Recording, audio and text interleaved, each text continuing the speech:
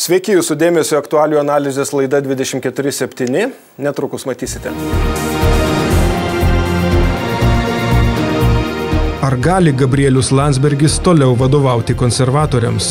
Jeigu būtų tokia situacija Valstybės žaliųjų sąjungos frakcijoje, aš būčiau kaip pirmininkas atsistatydinęs. Ir to, tą pakartosiu 25 kartus. Ir jeigu taip atsitiks, tikrai tą padarysiu. Dėl to aš sakau, gaila, kad to nedaro Gabrielius Landsbergis, nes jisai neša atsakomybę už tai, kokią sąrašą atvedė į, į, Seimo rinkimus 20 metais. Ramūnas Karbauskis ir Paulius Saudargas apie galimos pedofilijos skandalą, buvusio pareigūno kaltinimus dėl slapto sėkimo operacijos ir apie artėjančias karo Ukrainoje metinės. Laidoje 24.7 Seimo vicepirmininkas Tevinės sąjungos Lietuvos krikščionių demokratų partijos atstovas e, Paulius Saudargas. Sveiki. Sveiki. Taip pat su mumis e, Valstiečių žalių e, partijos pirmininkas šešėlinis premjeras Ramūnas Karbauskis. Sveiki. Sveiki.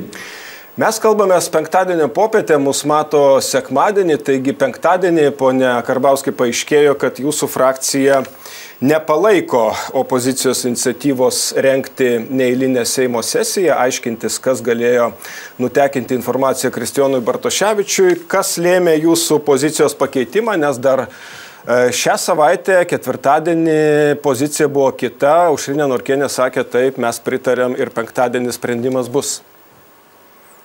Tai pirmiausiai reikia pasakyti, mes pritarėm išsiaiškinimui, ar buvo nutekinta informacija niekada to neneigėm ir dabar sakome, kad mes pritarėm tam.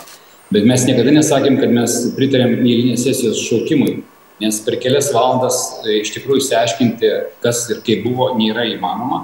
Mūsų nuomonė reikia sudaryti specialią Seimo komisiją ir valdantieji tikriausiai tame taip pat suinteresuoti, tai turi būti padaryta po savivaldos rinkimų, prasidėjus pavasario sesijai Mes iš tikrųjų nenorim, kad dabar būtų politizuojama šitas klausimas savivaldybių rinkimų metu, nes akivaizdu iš Saulius Karnelio ir iš demokratų pareiškimų, kad jie nori tiesiog jį politizuoti, nes e, kreipiasi į generalinę prokuratūrą socialdemokratai. E, sprendimas teisingas, e, sprendimas dėl iškelimo, pradėti tyrimą dėl galimos, nu, galimo informacijos nutekinimo. O Saulius Karnelio atžvilgiu mes prisiminėm vakar diskusijoje situaciją praeitos kadencijos kada Saulis Kornelis užblokavo lytinių nusikaltėlių e, registro klausimą ir, matyt, kad dabar tas labai jautrus klausimas jam e, šiek tiek atsiliepia ir jisai daro kai kurios pareiškimus, kurie tiesiog nebe, nebetelpa į, į žmogaus, kuris turėtų atsakyti už savo veiksmus, savo žodžius, nuo rėmus, reiškia, jisai tiesiog isterikuoja dabar. Matyt, eterio netikimas yra pagrindinė priežastis ir aš manau, kad kolega, kuris yra dabar studijoje, pritars man, kad Šitas klausimas turi būti ištirtas, mes turim žinoti visas aplinkybės ir teisinės aplinkybės pačio nusikaltimo ir tas politinės aplinkybės, kurios supa galima informacijos nutekinimą, bet to negalima daryti per dvi valandas ir tai nedaroma politinių kažkokių tai uh, interesų rėmose, kurie dabar susijęs su rinkimais. Kaip Jūs, e, Pauliau, vertinate štai, ką Ramūnas Karbauskis kalba? E, visų pirma, aišku, e, dėl spets komisijos sudarimo. Ramūnas Karbauskis sako, dabar nešaukim sesijos, bet pavasario sesijoje sudarykime specialią komisiją. Jūs tam pritartumėt ar ne? Na tai pirmiausia, dėl pačios sesijos matome, kad vis tik tai vieningos nuomonės opozicijos gretose nėra. Ir aš girdžiu, ką sako e, ir valstiečiai, ir ką sako gerimas Ramūnas Karbauskis. Ir e, turbūt ta logika yra labai suprantama. Jie siūlo nepolitikuoti šito, reiškia, ir apskritai bylos nepolitizuoti, nes mes turim leisti teisės saugai dirbti, e, kad ta tiesa būtų išaiškinta. Dabar Antras aspektas, jeigu būtų surinkta, surinkti parašai ir be valstiečių parašų, na, tada mes svarstytume, turbūt, na, kol kas nėra tokių e, su, su, suponacijų, kad mes nedalyvautume ar ten kaip nors blokuotume. Tai gerai, yra sesija, yra demokratinis procesas, e, reiškia, Tikėtina, opozicija nori. Surinks e, parašus opozicija galbūt, ir be valstiečių. Ne, ne, galbūt tai Taip. yra teoriškai įmanoma. Sudėtinga Taip. praktiškai, bet teoriškai įmanoma. Tada svarstytume priklausomai nuo to, kokia yra tos sesijos darbo atverkė, nes dabar, jeigu parašai tai, vėlgi renkami nuo nulio, tai mes iš vis nežinome, ką planuojama jūs, toje sesijoje Pauliu, svarstyti. Jūs nepasirašysite dėl neįlyminės sesijos sušaukimo. Nebus nei vieno jūsų konservatorių frakcijos parašo. Greičiausiai nebus, aš už kiekvieną Taip. negaliu garantuoti, Taip, bet supratau. jokio noro pasirašyti dėl to. Tai ką Ramūnas Karbauskis sako, pritarsit? Antras, taip, antras aspektas yra kovo mėnuo, natūrali sesijos pradžia, darbo atvarkė Seimo ir komisija. Tai čia vėlgi e, galiu pasakyti tik tiek, kad e, Seime tų komisijų tyrimų buvo labai įvairių, bet Seimo statutė yra parašyta, kad turi būti ypatingos svarbos atvejais. Tai dabar kokį atvejį mes tirsim? Iki kovo 10 man atrodo, dar daug vandens nutiekės ir dar daug informacijos paaiškės. Gal, nežinau, gal e, e, norės Jūs jau šitą... policijos departamente Taip, vykstančius bet... dalykus tirti, ar tenai galbūt e, hašišo reiškia dar kas nors ras ne pusę kilogramo, pusę tonos. Aš nežinau, kokiu įvykiu dar nu, nu, nutiks iki to laiko. Jūsų vertinimu, tai ypatingos svarbos atvejais ar ne? Informacijos nutekėjimas, kaip jis yra vadinamas. Taip, Dabar tai ypatingos svarbos atvejis ar ne? Labai paprastas klausimas. To, ką aš matau čia, aš nematau nusikaltimo sudėties, taip kaip ir nematė prokurorė. Prasme, kuri pasakė, aš nematau čia iš viską tirti. Tai aš turbūt, Todėl, kad aš trumpai jo, pratęsiu. Labai trumpai. Jo, iš to, ką mes girdėjom apie penktadienio sustikimą Seimo pirmininkės su generalinio pro prokurorė. Taigi pasakė aiškiai, generalinė prokurorė patvirtino, buvo duota nuosmeninta informacija, kad ar jūs darysite sesiją, tai, ar reiškia bus, e, bus neįlinis posėdis. Ta žinom, tą žinom. Tai aš suprantu, tokią informaciją Seimo galiu, pirmininkė galėjo nueiti trump, ir visai žiniasklaidai pasakyti. Čia nėra jokios paslapties. Jūs, ne, Čia nėra jokios paslapties. Jūs nesat šalininkas komisijos kūrimo komisijos šituo klausimu nesušalė. Tada aš patikslinu pas Ramūną Karbauskį, ko, ką turėtų tirti komisija, apie kurią jūs kalbate, kurią reikėtų e, kurti jau Seimų susirinkus kovo, kovo 11, turbūt ar kovo 10 pavasario sesijai. Pirmiausia, kad įsiaiškinti politinę atsakomybę už tai, jeigu tas ta informacija buvo nutekinta. Vėlgi, tikrai nešnekame apie jokią baudžiamą atsakomybę, šnekame apie politinę atsakomybę, nes kažkas tai iš e, Seimo E, pirmininkės sekretariato ar iš kito sekretariato, tikriausiai ne patys tiesiogiai valstybės vadovai, tą informaciją tekina, nes visos aplinkybės rodo, kad Seimo narys, buvęs Seimo narys, visą informaciją turėjo dar prieš padarydamas pareiškimą, kad jis traukėsi iš frakcijos. Čia, matyt, visiems yra tas suprantama, tas aišku, tik tai norisi suprasti, kas vis dėlto pasilgė nederamai ir matyt, kad baudžiamos atsakomybės tas asmo nesulauktų, bet politinės taip netiktų darbo ar kažko tai panašaus. Tai būtent tai jūs norite aiškintis, ne, ne nieko daugiau, visą kitą jūs atiduodat prokuratūrai, tyrimui, tai- pedofilija, visa tai yra už borto, tik tai tą nutekinimą jūs norite aiškintis. Taip, aš, aš noriu pasakyti labai aiškiai, jeigu mes visiškai pasitikim e, prokuratūrą, visiškai pasitikim teisės saugos organais ir jeigu mes norim tokio sudėtingumo e, tyrimą turėti sėkmingą, politikai turėtų į jį nesikišti, nes vėlgi gali paaiškėti, kad ir daugiau politikų yra su tuo susiję, kad yra daugiau aukų ir visa kita. Mes tiesiog dabar turime e, visai kaip paremti prokuratūrą. Mes šešėlį vyriausybė kėlėm klausimus dėl lėšų trūkumo prokuratūrai, dėl jų atlyginimų, dėl to, kad trūksta prokuroro. Tai tikiuosi dabar ir šitai bus atsižvelgta, kad iš tikrųjų apimtis ir šito tyrimo ir kitų tyrimų yra pakankamai didelė. Ir mes turim suprasti, kad tiesiniai valstybei prokuratūra, stipri prokuratūra, galinti dirbti e, netgi sudėtingiausiose temose ir dirbti efektyviai ir greitai, tai yra mūsų valstybės stiprybė. Taip, čia, suprant, čia turbūt sutampa Paulių pozicija, ar ne, kad tai, kas su byla, tai tik prokuratūra, yra tik tai galimas nutekinimas. Tai dabar Žinoma. grįžtam prie to galimo nutekinimo. Pats vizitas, reiškia, generalinės prokurorės paseimo pirmininkė penktadienį, ar ne, tą vat, prieš kelias čia jau savaitės, reiktų taip sakyti, jis e, jums atrodo suprantamas, logiškas, e, ko norėjo generalinė prokurorė. Dabar lik ir Seimo pirmininkė tampa tokia kraštinė, kuri galimai galėjo ten kažką galbūt sužinoti ir su kažkuo pasidalinti, bent jau tokios versijos sklando. E, gal čia toks ir buvo planas padaryti Seimo pirmininkę tokią, vat, kuri turėtų aiškintis ir atsakinėti ir nukreipti dėmesį galbūt nuo tikrųjų galimų tekintų informacijos. Kokių jums tokių minčių nekyla? Man kyla mintis, kad čia iš tikrųjų įvyko visiška kolizija lygioje vietoje. Todėl, kad e, galimai, e, vėlgi aš nežinau jų, jų pokalbio turinio, tik tiek, kiek jos yra žiniasklaidai pasakė, tai maždaug tas turinys buvo toksai. Ar jūs planuojate renkti neįlinę Seimo sesiją? Ne, neplanuojam. Kam to reikėtų? To reikėtų, nes jūsų vienas, reiškia, Seimo narys yra galimai įtariamas tokiais tai baisiais nusikaltimais, gal net nepasakė kokiais, reiškia, mes norėtume įteikti, reiškia, prašymą dėl neliečiamybės panaikinimo. Ir viskas. Tai, tai man atrodo, Pauliau, jūs seniai politikoje. Čia įvyko kolizija. Seniai politikoje. Tai yra įprasta, kad generalinis prokuroras eina pas Seimo pirmininkę ir aiškinasi tokius dalykus? Matot, e, dar kartą pasikartosiu, byla yra neįlynė. Pirmą kartą. Toks atvejis, tokio pobūdžio yra Taip, ir tokio lygio nusikaltimas yra, yra pirmą kartą. E, neliečiamybė. Ne? Antras dalykas. Kartų mažiausiai. Seimas yra tikrai e, e per pastaruosius tris kadencijas, sakau, 25 kartus ėjo prokurorai ir tas klausimas būdavo svarstomas. Visada prokurorai ir atneša pareiškimą su pavardė, su galimu taip, nusikaltimu. Taip, tai Mes tą matom darbo tai nėra tipiškas, ir, tai ne tik tipiškas, netipiškas tai, atvejis, bet ir elgesys prokurorės netipiškas. Man sunku ne? vertinti, nes yra netipinė situacija, todėl kad nebuvo sesijos. Paprastai tai nusesija ta vyksta, dabar yra didelis tarpas tarp sesijos, o byla matyt neleidžia laukti. Byla Taip. matyti reikalauja kviesti, reiškia, Bartošečio apklausai ir tam reikalingas imunitetas. Ir čia išeina va tokia kolizija praktiškai lygioj vietoj.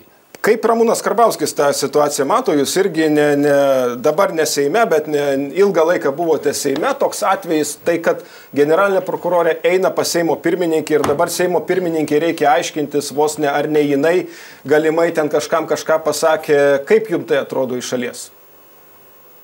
Manau, kad reikia šitą situaciją aiškintis, bet kokiu atveju yra jokingi bandymai e, pasakyti, kad e, buvęs Seimo narys kaltinamas pedofilija, tai nežinojo, apie tai nežinojo ir raštą apie tai, kad traukiasi Seimo, parašė iš tolimos valstybės, planuodamas kitą dieną jau skristi ar po kelių dienų skristi į e, Indiją, kiek aš atsimenu iš, iš informacijos.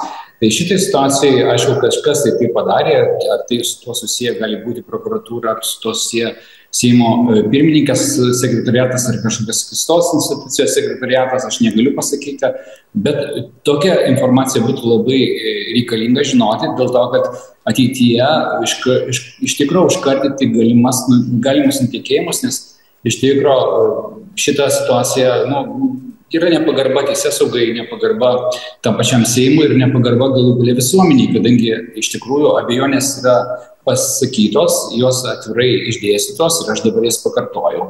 Tai reiktų kažkaip tašką šitą situaciją padaryti, bet vėlgi noriu pasakyti, kad tai niekaip nesusijęs su baudžiamąją e, baudžiamąją bylą ir, ir tai niekaip nesusijęs su galima, e, galimu baudžiamu persikavimu. Tai yra tiesiog politinis vertinimas, kur Mes turim suprasti, kas tai padarė ir suprasti, kad tas žmogus toj vietoje, kurioje jis yra, dirbti negali.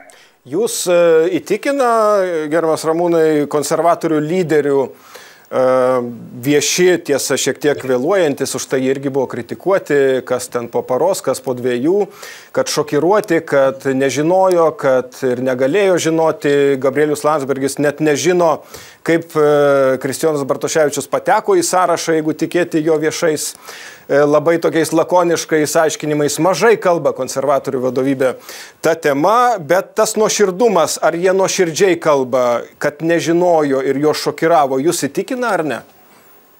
Prieš kelias minutės mačiau nuotrauką, kurioje e, būtent Gabrielius Landsbergis labai džiugiai sveikina e, buvusi Seimo narį Bartoševičių, reiškia, ir, ir ją pasidalinsiu Facebook'e, kad nekiltų abejonių, kad jis žinojo ir suprato, E, ką jisai kviečia į sąrašus ir taip toliau, bet e, čia ne apie tai kalba dabar. Tikriausiai e, jis negalėjo žinoti, kad žmogus turi tokių maniakinių, sakykime, polinkių ir, polinkių į pedofiliją. Tai čia negali kaltinti tuo, kad partijos pirmininkas to nežinojo. Partijos pirmininkas turi prisimti atsakomybę už tai, kad jisai iš tikrųjų nesigilino galbūt į kurias aplinkybės ir kažkur tai skaičiau, kad iš tikrųjų galbūt per daug lengvabūdiškai ieškami renkami žmonės iš visuomenės tarpo į sąrašus ir tai partijos bando tapti populiaresnės, tai galų gale atsakyti reikia. Ir aš esu pasakęs, kad jeigu būtų tokia situacija Valstybės žaliųjų sąjungos frakcijoje, aš būčiau kaip pirmininkas atsistatydinęs. Ir to, tą pakartosiu 25 kartus ir jeigu taip atsitiks, tikrai tą padarysiu. Dėl to aš sakau, gaila, kad to nedaro Gabrielius Landsbergis, nes jisai neša atsakomybę už tai, kokią sąrašą atvedė į, į Seimo rinkimus 20 metais. Ar turėjo, Pauliau, kaip kalba Ramūnas Karbauskis, Gabrielius Landsbergis atsistatydinti šitoje situacijoje? Na, labai teisingai gerbiamas kolega įvardina, kad niekas negali žmogui į dušį įlysti ir nustatyti būtent tokio pobūdžio nusikaltimą. Čia, čia svarbi replika neįrodyta atsi... dar nieko, ar ne? ne Martaševičius tai yra nekaltas, kol teismas nepasakė. Yra kitaip. nekaltumo prezumcija. Taip. Mes sužinosim viską teismo metu. Ir aš noriu atskirti tokio pobūdžio nusikaltimą, kai tai žmogus daro asmeniškai, niekam žinoma nesidalina tokiu, tokia informacija. Niekas to negali sužinoti nei artimiausi kolegos, nei, nei, bendra, nei bendražygiai. Ir e, nu, nusikaltimai, ar reiškia, įrodyti, neįrodyti, kai kalbama apie korupciją, apie partijų finansavimą, apie ten lėšų išvaistimą, kai tai yra susijusi veikla su partija, su politika, tai tada yra atsakomybė komandos. Bet šiuo atveju, nu, nu būkim bėdini, bet teisingi. Nu, ta prasme, žmogus padarė galimai baisų nusikaltimą. Niekas apie tai nežinojo. Ir bet dabar suprantama, kad tai, polo. šešėlis krenta, dabar e, kokios tos turėtų... reakcijos man sudėtinga vertinti. Partijos pirmininko reakcija buvo tą vakarą ir, ir, ir buvo taip, kaip jisai supranta taip, tą, jisai norėjo. Karbauskis sako, jis atsistatydintų tai, jo vietoj arba nu, tai, jeigu taip atsitiktų valstiečių manau, partijoje. Aš manau, kad ir valstiečių partijų buvo nemažai įvairių ir situacijų, ir skandalų, Bet ir tokių ir atsistatydinti tokių turbūt. Nebuvo. Tokių apskritai Lietuvoje pirmąjį kartą istorija, Seimų istorija šitokio lygio kalbėjo. Aš suprantu, tai kad nėra sutinkam. svarstoma, kad vadovybė partijos trauktųsi. Nėra svarstoma. A, šiuo momentu nelikta iki šiol, nebuvo svarstoma. Aš nežinau, kas, kas dedasi kiekvieno galvoje, bet tokių Taip. svarstymų tikrai Supratau, nebuvo. aš tą ir norėjau išgirsti. Dar Ramūna Karbauskį kreipiuosi, jūs minėjote Saulis Kvernelį, jis taip pat penktadienį tai kada mes kalbamės, mus mato sekmadienį, pasakė, kad jūsų pozicijos pasikeitimas dėl neįlinės Seimo sesijos gali būti susijęs su jūsų valdomo agrokoncerno vėjo jėgainių parkais, kur jūs laukiate leidimų išdavimo tiem parkam ir tas leidimo išdavimas priklauso ir nuo dainiaus kreivio, kitaip tariant, nuo Sauliaus kvernelio galima suprasti, kad ir čia gali būti jūsų interesas nekviesti neįlinės Seimo sesijos. Ką galėtumėte apie tai trumpai? Aš galiu juoktis, aišku, bet nesijuoksiu, paaiškinsiu. Saulis Kvernelis priėmė sprendimą vyriausybėje praėjusioje, kad privatizuojamas ignitis akcijų nusipirko kryvys. Ir dabar Saulis Kvernelis bando pasakyti, kad Ramūnas Karbauskis turi kokių nors interesų su kryviu. Tai pasakysiu paprastai, Ramūnas Karbauskis su juo siejamas verslas padavė į teismą E, būtent Ignitį, tai yra e, Litgrida, būtent dėl to, kad nepriimami sprendimai dėl galimo, tai yra prijungimo vieno ar kito, reiškia, parko vėjo prie tinklų. Tai jeigu būtų kokie nors sustarimai arba būtų kokie nors e, ten, sakykime, ryšiai, tai nereiktų į teismą padavinėti valstybinės įmonės, kurie vadovauja Rokas Masiulis. O tas yra padaryta, teisėjai priėmė laikinasis priemonės, teisėjai tą, teisėjas tą bylą nagrinės tikiuosi, kad e, įmonė bus priversta laikytis Lietuvos Respublikos įstatymų. Tai čia puikiai Saulis Kvenelis žino apie tai, bet jisai tiesiog manipuliuoja informaciją ir meluoja. Dėl to, kad bando įsisukti nuo situacijos, kuri susijusi būtent su Igničiu. O ten situacija yra akivaizdi. Praėjusi vyriausybė priima sprendimą, akcijas turi konservatoriai. Tai kokiu būdu galima Ramūno Karbauskį dabar kaltinti. Ir a, kita vertus, jo melo esu pasiklausęs daug, esu girdėjęs kad jis meluoja viešai apie tai, kad aš turėjau interesą arba turiu interesą dėl vėjo jūroje, tai aš pasakysiu vieną, kad vėjas jūroje, mano nuomonė, yra viena didžiausia afera, kurias šiandien rengia e, šitą vyriausybę. Bet e, vėlgi, palikim tai ekspertams, manau, kad labai daug ekspertų tą pasakys, ką aš šiandien pasakiau, kad vėjas jūroje tiesiog neturi jokios ekonominės prasmės. Jeigu Paulius Autogras norės atsakyti dėl aferos vėjo jūroje, tai ką Ramūnas Karbauskis paminėjo, galėsite tą padaryti po trumpos pertraukėlės, to grįšime į studiją.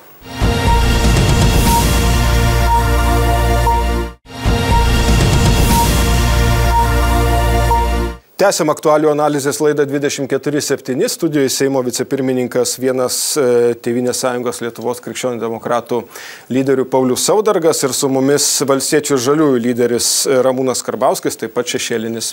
Premjeras Pauliau, jūs jeigu norite, galite trumpai reaguoti dėl e, anot Ramūno Karbauskio aferos vėjo jūroje šitos vyriausybės.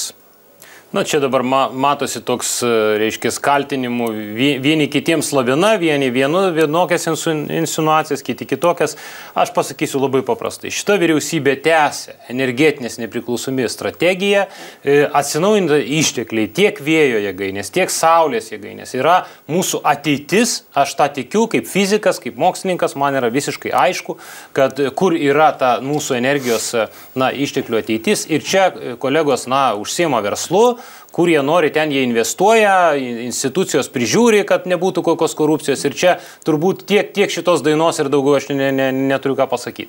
Dabar dėl, reiškia, dėl apskritai neįlinės sesijos ir kodėl Čia ta nemailė tokia, taigi suspindom Saulis Kverneliui. Nu, vat girdim, reiškia, tam tikrus pasišpi, pasišpilkavimus kolegų. Nes man atrodo, Saulis Kvernelis, tuo pasakysiu taip, taip. Tarp, tarp Ramūno Karbauskio ir Saulis Kvernelio girdžiu epitetus vėl kaltinimus vienas kitam ir mėlavimą ir kitaip.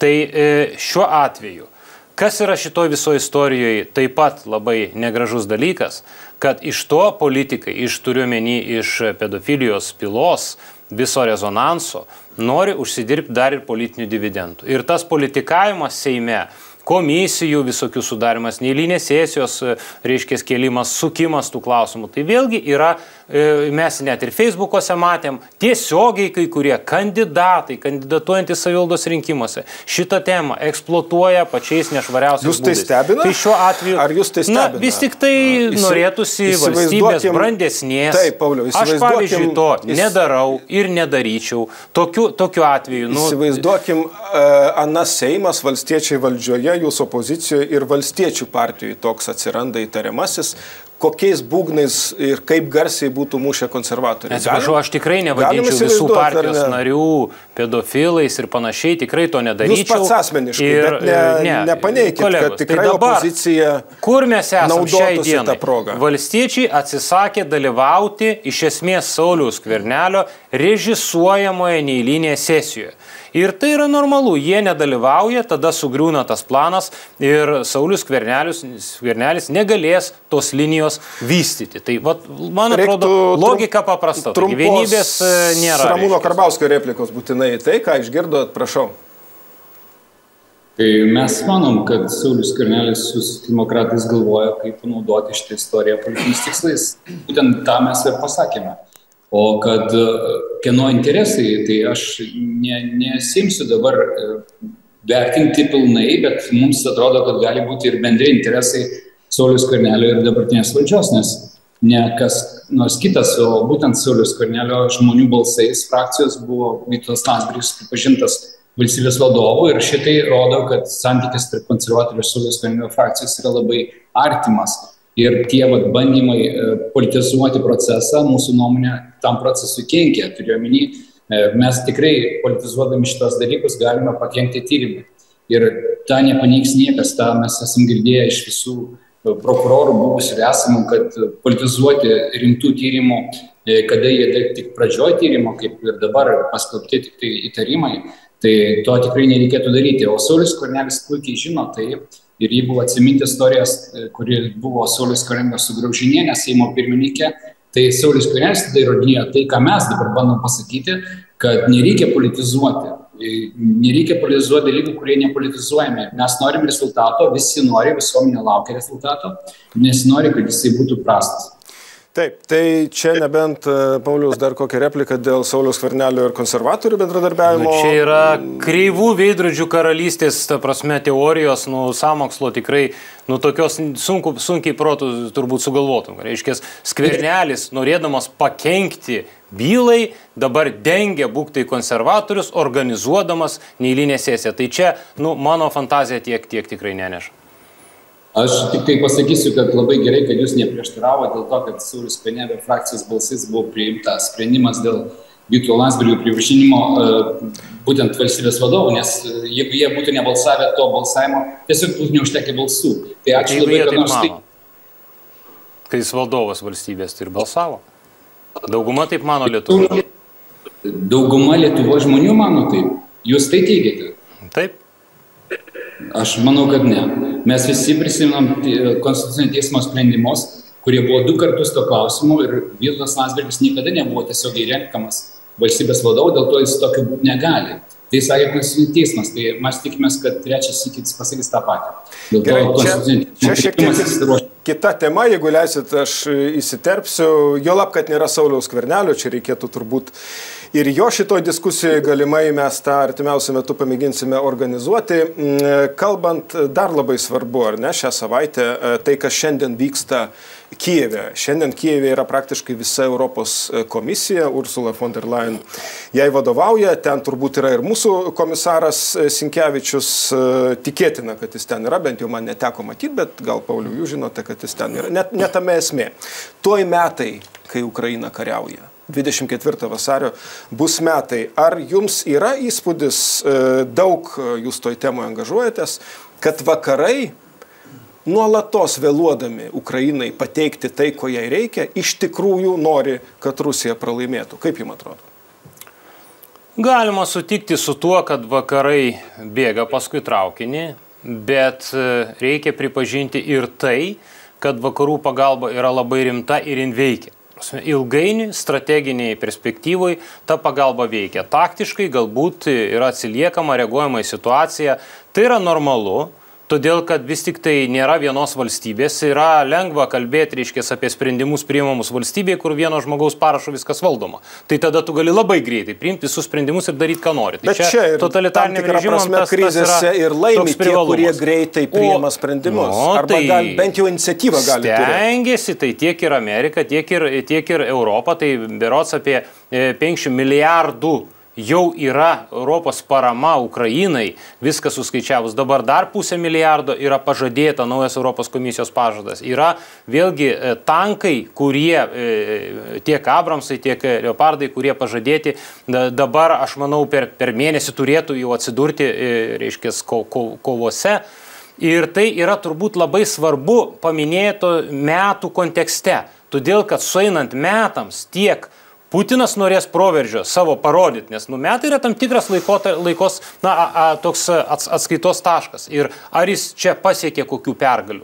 Ir ukrainiečiam reikia e, būtinai atsilaikyti. Tai man atrodo, šitos naujos ginkluotės žinios ir raketinių sistemų naujų, ir tankų, ir dabar jau sekantis etapas jau pradėta kalbėti apie naikintuvų perdavimą, jau tokia atsargi kalba, bet in yra jau reali, ne tokia, kaip buvo, tarkim, prieš, prieš kelis mėnesius. Ir man atrodo, e, vakarai supranta, kad vis tik tai šitą priešą reikia pribaigti tiek sankcijom. Dešimtasis sankcijų paketas yra pažadėtas iki tų metinių, e, kad ES priims. Taigi reaguoja, suprantama, kad girgždėdama, nes didelis aparatas biurokratinis, daug šalių valstybių reikia susitarti, kai kuriosgi blokuoja, mes puikiai, puikiai žinom, čia dabar nevardinsim, reiškia, kurie, kurie žiūri visiškai į kitą pusę, nu tai nėra taip lengva. Bet ta parama yra, jin leido Ukrainai atsilaikyti iki šiol ir jinai leis laimėti greičiausiai strateginiai perspektyvai. Ramūnai Karbauskai, jūs suprantat šitą vakarų laikyseną artėjant e, karo metinėms?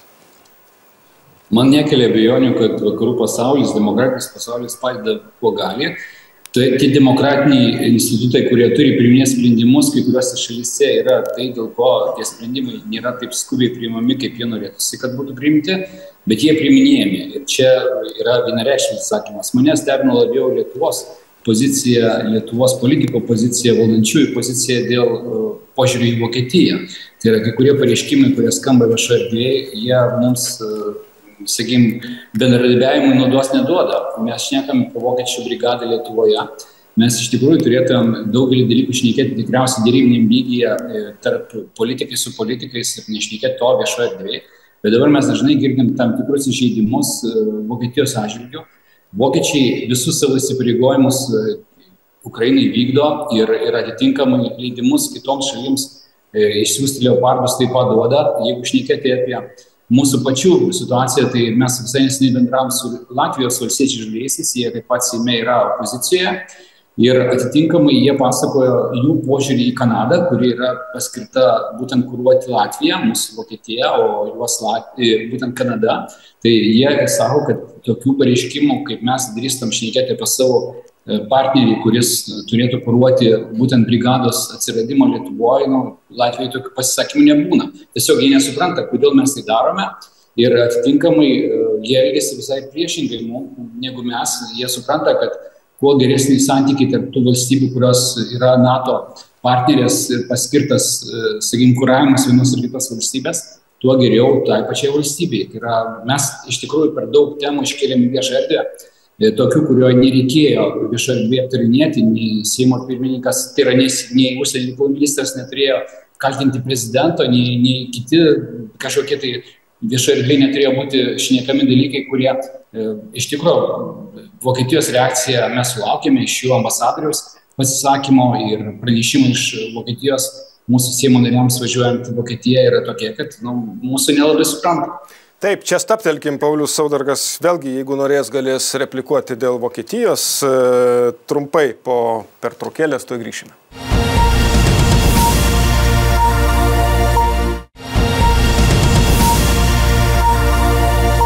Tęsim aktualių analizės laidą 24.7. Studijoje Seimo vicepirmininkas Tevinės sąjungos Lietuvos krikščionių demokratų frakcijos Seime narys Paulius Saudargas, taip pat su mumis Ramūnas Karbauskis, Valstiečių ir Žaliųjų sąjungos lyderis.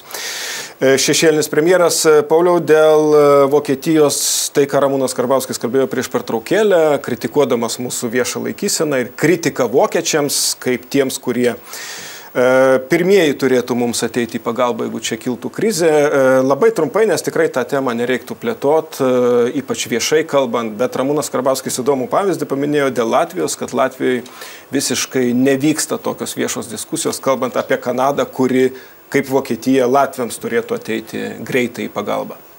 Na, ne visada yra blogai viešos diskusijos ir ne visada yra blogai turbūt tą, ką Lietuva daro. Tai aš tiesiog manau, kad ir braliukam reikėtų pasimokyti kai, kuriuo, kai kuriais atvejais. Lietuva labai aiškiai supranta, kad jos apginamumas stovi ant trijų trijų tokių pagrindinių, reiškia, dramblių, reiškia, pirmas dalykas - narystė NATO ir čia yra Vokietijos brigados, reiškia, kontekstas, antras yra tai mūsų kariuomenė e, reguliari ir trečias dalykas - visos visuomenės reiškia, pasiruošimas gintis. Tai mes, šitas Seimas, šita vyriausybė tikrai padarė titaniškus darbus, dabar nuo, nuo antro galo, nuo visuomenės pasirengimo, reiškia.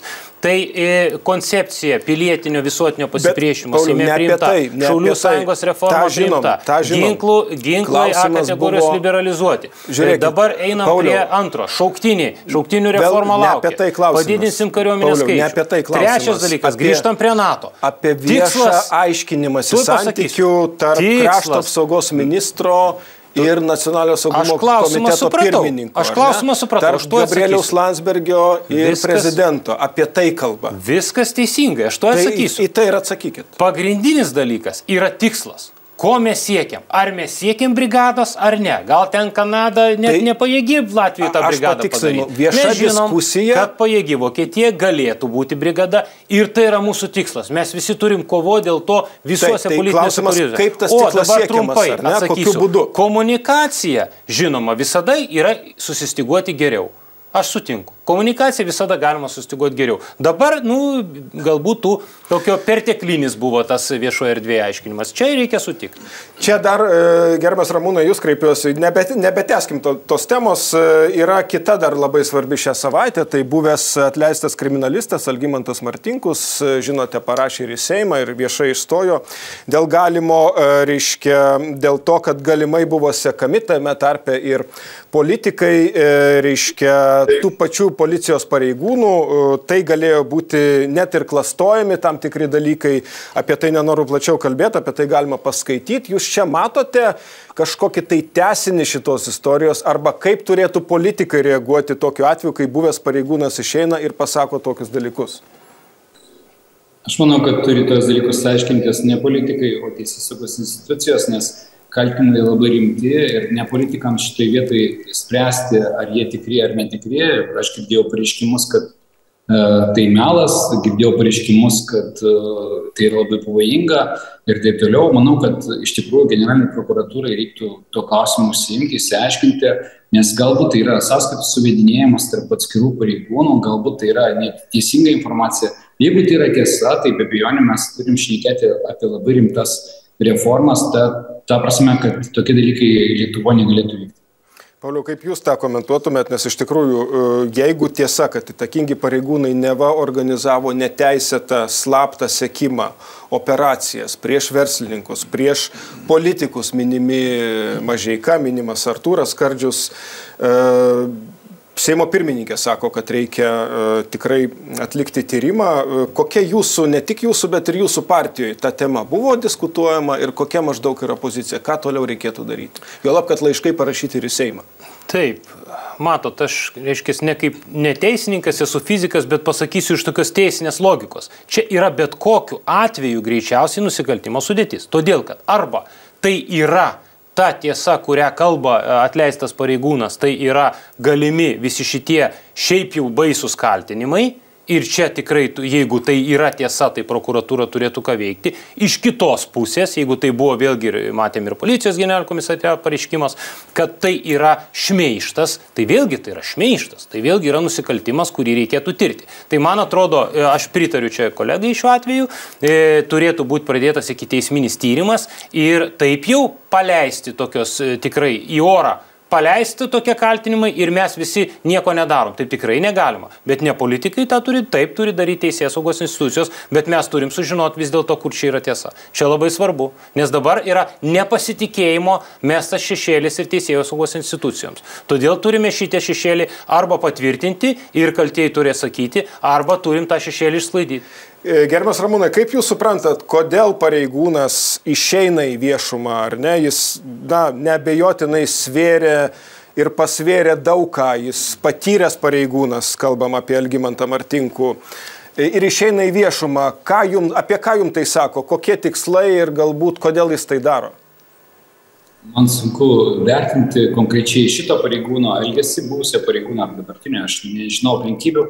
Bet e, būna įvairių atvejų. Mes buvom susidūrę praėjusią kadenciją, kada buvęs prokuroras, tada dar buvęs prokuroras, reiškia, e, davė parodymus apie tai, kaip jam buvo daromas spaudimas dėl, to, dėl tyrimų e, korupcijos valstybinėse įmonėse ir taip toliau, iš politikų daromas. Tai vieni desperacijai daro kažkokius pareiškimus, kad niekas negirdi, niekas jiem nenori leisti atlikti savo pareigų, kiti daro iš keršto ar kitų kažkokių aplinkybių, bet kaip jau buvo minėta, reikalingi tyrimai Mes e, praeitoje kadencijoje, tą, ką buvo pasakyta prokuroro, bandėm tirti laikinoji komisijai, e, kad e, ką mes matėme, ką mes galėjom vertinti kaip galima korupciją. Ir nes teisės saugos institucijos nesijėmė tokio tyrimo, šiuo atveju negaliu vertinti tikrai dėl šito pareigūno pareiškimų. Tiesiog jo kaltinimai labai rimti ir jeigu jie nebūtų tyriami ir nebūtų atsakyta, kas vis dėlto pasakė tiesą, ar tie, kurie, ar pareigūnas, ar tie, kurie savo, kad taip nebuvo, tai bet kokiu atveju liks šešėlis, o šešėlio šitą vietą negali būti. Kaip Pauliau, jūs trumpai suprantat ėjimą į viešumą, nes tikrai e, kiekvienas mūsų turbūt pasvertų pasiekmes ėjimo į viešumą, pareigūnas buvęs irgi rizikuoja, kaip jūs sakote, kad bus apkaltintas šmeištu ir tas jau yra pasakyta iš dabartinės policijos vadovų, bet jis vis tiek tą padarė. Kaip jūs suprantate tikslą labai trumpai? Nu tai aš grįžtu prie to, arba tai yra iš tikrųjų tie dalykai, kuriu, apie kuriuos jis kalba, nusikaltimai, arba tai yra šmeištas. Tai, kitaip tariant, jis e, pasirengęs įrodyti. Aš negaliu vertinti, jeigu aš nesu teisės sauga, aš ne, negaliu aš dabar vertinti. Bandau suprasti čia, logiką. Kad čia ne? logikos yra, reiškia, jeigu aš tai pasakysiu, nu aš tarsi stosiu į kažkuria tai pusę. Tai vėlgi taip turėtume turbūt nedaryti, turėtume laukti teisės saugos veiksmų. Ar kalbėjotės jau su Renatu Požėlai, jis čia irgi minima šitoje istorijoje, jis tuo metu buvo kitose pareigose, bet irgi neva e, prieš jį galėjo būti nukreipti tam tikri neteisėti veiksmai, gal jau teko su juo kalbėti? Ne, neteko. Planuojat, galvojat? E, Aš manau, kad e, frakcijai tikrai bus kalba, turbūt aiškinsime šitą, šitą dalyką, bet kaip minėjau, nu, nu čia turi būti kiteisminis tyrimas. Nu, čia yra arba taip, arba kitaip. Čia mums vėlgi diskutuoti kaip ir nuo minėtų klausimų, ta prasme, nu, ką čia politikai gali išdiskutuoti. Čia turim sužinoti pagaliau faktus. Juk mesti kaltinimai, konkretus faktai, tai juosgi galima patikrinti. Čia nėra kažkoks tai galbūt kažkur. Čia yra konkretus pa faktai, yra pavardės netgi nuskambėję. Nu tai šitą dalyką galima patikrinti, ar mes esame neteisiniai valstybei. Kažkur dabar politikai turi bylas, reiškia, narplioti. Mes neturim tų bylų narplioti. Mes turim reikalauti, kad teisės sauga dirbtų savo darbą šitoje vietoje. Palinkėti sėkmės. Matysim, kaip vystysis ir šita istorija. Aš dėkingas Ramūnui Karbauskui už skirtą laiką, taip pat Pauliui Saudargui, kad buvo mūsų laidoje. Dėkui žiūrėjusiems, jei ką praleidote, bet kada Lrytas LT, Lrytas TV.lt portaluose ši ir kitos laidos. Jei galite, likite su Lietuvos ryto televizija. Iki kitų sustikimų.